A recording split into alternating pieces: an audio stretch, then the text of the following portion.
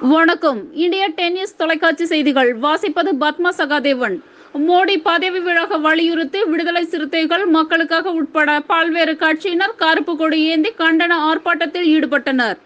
மோடி பதவியேற்று ஏழு ஆண்டுகள் நிறைவடைகிறது. பதவியேற்ற நாளை கருப்பு தினமாக அனுசரித்து இந்தியா முழுவதும் விவசாயிகள் அகில இந்திய விவசாயிகள் போராட்ட ஒருங்கிணைப்பு குழு அறிவித்துள்ளது. அதன்படி அகில இந்திய விவசாயிகள் போராட்டத்திற்கு ஆதரவாக திருச்சி மாவட்ட மக்கள் அதிகாரம் சார்பில் மண்டல ஒருங்கிணைப்பாளர் தோழர் செழியன் தலைமையில் தில்லைநகர் காந்திபுரம் பகுதியில் கருப்பு கொடி ஏந்தி ஆர்ப்பாட்டத்தில் ஈடுபட்டனர். ஆர்ப்பாட்டத்தில் கார்ப்பரேட் கைக்கூலி மோடியே பதவி விலகு மூன்று வேளாண் சட்டங்களை திரும்ப தர வேண்டும் என வலியுறுத்தி கோஷமிட்டனர்.